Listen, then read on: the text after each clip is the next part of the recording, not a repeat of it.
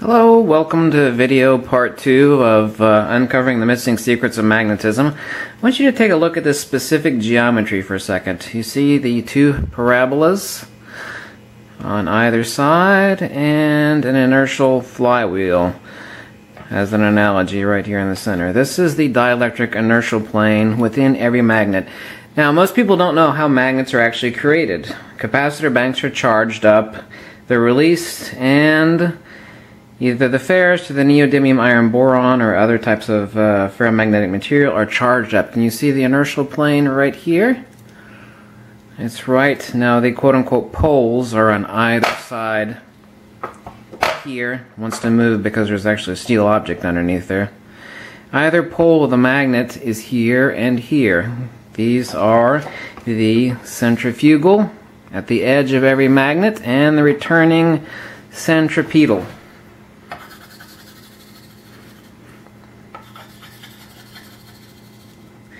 This is centripetal, inertial, counterspatial,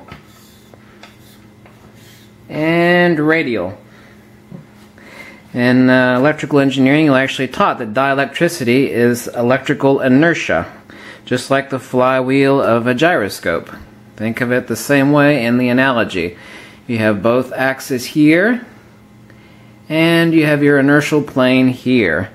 As you can see, this these are the quote-unquote poles, and here's the dielectric inertial plane looking at the velocity viewing film. They call it magnetic viewing film, but all this stuff does is has nanoparticles of ferrous material and it shows you velocity. But this is the center of the magnet. Of course, a magnet has no center. This is part of field incommensurability. So, now let's take a look at something else. Let's put our chalkboard away, and you remember our little magnetic toy here, right?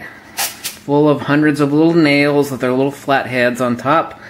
So, what happens if, say, these top of these pin heads are the dielectric inertial plane, which they are in our fast approach? Here, one, two, three. You see that? Now, let's turn it upside down, give it a good shake, and take a look. You see that? You see this circle of raised nails didn't come forward? Let's try that again. This time let's remove any dielectric charge by rubbing our hand across the top of the nail heads and do a faster approach so we can spin up the inertial plane of the nail heads better. One, two, three. Turn it upside down, give it a shake. You'll see we have a larger void spot right here in the center. Do you see that? Without tilting it too much so the nails don't fall back. I can do the same thing there. See, we have a large void spot here. Well, what's happening? So, like anything that's spun up in field incommensurability, let's do the same thing, and this time add an additional time variable. We're going to do the same fast approach. One, two, three. Now, we're going to give it a few seconds for the dielectric inertial plane. Remember, we're getting reaction at zero degrees, but dielectric spin up at 90 degrees to the approach with the time variable. Now we're giving it about 10 seconds, and then we're going to flip it over. And just like any flywheel that isn't constantly sped up, it will eventually wind down. So now let's turn it upside down, give it a shake, and see what happens. Oh, look, there isn't such of a big hole in the center now. You see that most of the nails came forward. We allowed our flywheel to spin down. So, what exactly is happening? Well, in approaching the nails, the same as our gyroscope here, the dielectric inertial plane, like the gyroscopic flywheel, is spun up on the fast approach. That's why when we immediately turned our uh, analog upside down, we had a large circle of nails that wouldn't come forward. But when we gave it enough time for the charge to dissipate, just like the flywheel in a gyroscope, what happens is exactly what's happening now in the interatomic magnetodielectricity of the ferrous iron atoms. This. That's why so many nails came forward after giving it a few seconds for it to spin down, the same as our gyroscope. You have to understand field incommensurability, that's a whole new science, but magnetodielectricity is not something new. What people don't understand is what a magnet is, how a magnet is created. Most people have no idea that an enormous electrical charge is put through these in their creation. What that does is it creates field incommensurability in this special conjugate geometry. Exactly like this. You see the two hyperbolas? Download the book Uncovering the Missing Secrets of Magnetism. And uh, obviously you'll get a lot better diagram than this uh, pathetic little chalkboard. But what is occurring here is if we place our magnet here with quote-unquote both fields top to bottom is we have a dielectric inertial plane here. Now, in our gyroscopic analogy, before a magnet is actually created, imagine trillions and trillions of little gyroscopes with their flywheels like this. This would be the axis here. Okay, then we have another axis here and a flywheel like that. Okay, we have another axis here with a flywheel like that. Okay, the notion of domains as explanation is incorrect. It's uh, a rough, crude analogy, but this doesn't tell you what's happening physically when a magnet is created. They're all going in opposite directions. Same thing as taking five gyroscopes independently and spinning them all up. Even though they're not connected, they will create field incommensurability. Their XY dielectric axis will point in the same direction, and their Z expanding radial magnetic axis will all point in the same direction. In other words, if I had five gyroscopes here and they were all spun up, they'd all be pointing exactly like this. Now, don't take the analogy too far, of course. But what happens is, in electrification, all those trillions and trillions of ferrous magnetodielectric geometries line up, and what we have is perfect Field incommensurability, where magnetism is conjugating centrifugally and centripetally, and the entire magnetic mass is acting in unison. If you don't know what incommensurability is, you might need to Google it to understand it. It goes all the way back to Pythagoreans. Has to do with the golden ratio. Now, there are specific angles here 137.5077 and an angle of 85 on centrifugal reciprocation under a perfect ideal situation. So, I hope you understand things a little bit better and what's exactly happening in our analogs because understanding magnetism is not something that you can read about or really understand simply unless I give you good analogies, makes things abundantly clear, lucid, transparent, logical, sensible, rational, rational, explainable by all phenomena. Just imagine this as the dielectric inertial plane, all these little top of these pinheads. What happens is on the fast approach here, one, two, three, turn it upside down, give it a shake. You see this ring of the nails that didn't want to come forward? That's the exact same thing as our dielectric flywheel here, which is spun up. These do not want to be come up because do not want to raise up on turning it upside down and flipping it because the dielectricity has been spun up in these nail heads so that they do not want to approach magnetism.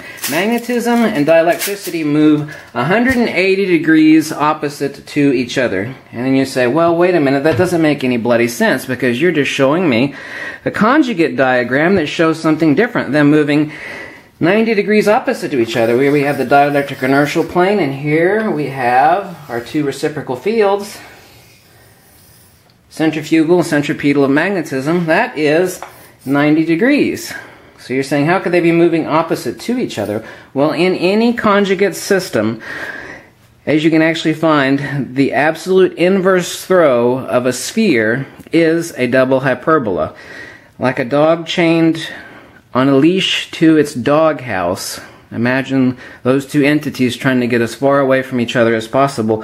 What is the maximum throw in a crude vernacular of two fundamental forces, dielectricity and magnetism, to move away from each other? Well, it is an accretional type plane like this and a double hyperbola.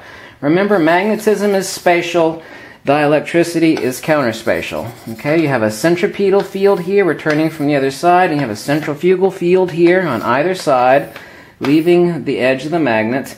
And you have the dielectric inertial flywheel right here. It is incommensurability, or field incommensurability.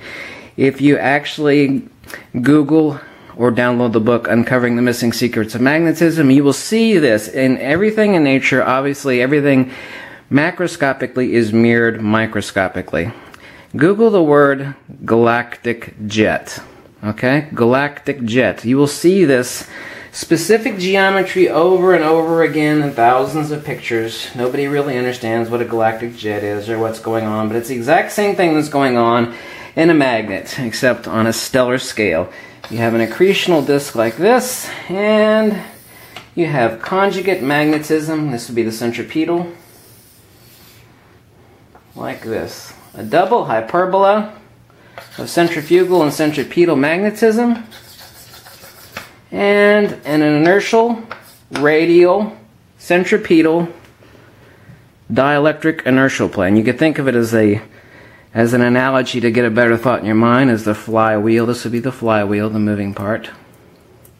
This is what drives a magnet. And this is just an analogy, of course. Don't take the analogy too far the dielectric inertial plane, or the flywheel, inside the center of every magnet. Not here, not on either quote unquote pole, there is no polarity, clockwise and counterclockwise.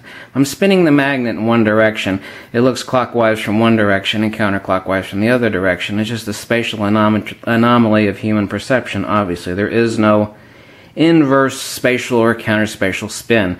But right in the middle here is the dielectric inertial plane. Right there. Like I said, you can take any magnet and cut it a billion times if you're able to, and within every slice there'll be a quote-unquote north pole and a quote-unquote south pole, and a dielectric inertial plane. This is what a magnet is. It is mimicked in nature. Like I said, Google the word galactic jet and then look up the pictures for same. It's the exact same that's happening in a gyroscope, and most people, obviously, basically everybody out there, well, there is nobody out there that actually understands magnetism. This will be the first book you'll ever see to explain magnetism. Period. Logically, rationally, and accurately. Nobody understands magnetism, that's one thing, but most people also don't even know how a magnet is actually created. What you think of as a magnet is not a magnet, it's a dielectric object. Within each perfect magnet under ideal conditions and under ideal geometries, there is 3.236 or phi times phi, phi squared, to one part magnetism. 3.23606 parts of dielectricity to one part of magnetism. You can say, well, why do we call it a magnet then if it's predominantly di uh, dielectric? Well, it's the same way a kid at a puppet show only recognizes the puppet and he can't see the big puppet master standing behind the curtain pulling the strings. Magnetism is spatial. That is why humans see a magnet, i.e., an electrified dielectric object, as a magnet and not as a dielectric object because that which is seen by human in our obvious pathetic little senses is the spatial magnetic field, even though it is only one part out of a total of phi cubed of a total of a uh, portion of dielectricity of 3.23606. So, that ends a video number two. Remember to download the free book, Uncovering the Missing Secrets of Magnetism.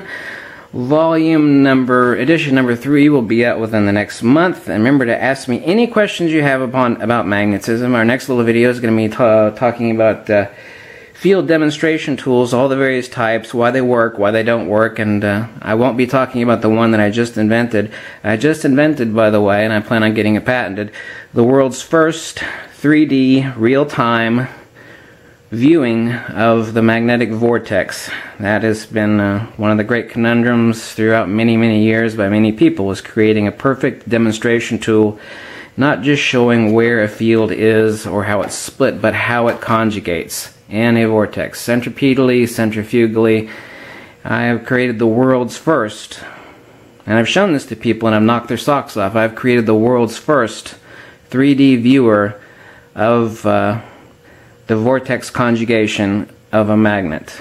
It's fantastic. I've been so happy. I've actually been celebrating for the past week. So thanks. Remember to download the book, Uncovering Missing Secrets of Magnetism. Send me any email or questions that you have. I'd be willing to answer any of them, and I guarantee you that uh, most importantly, it will be rational, logical, sensible, and explain all observed phenomena. Thanks for watching.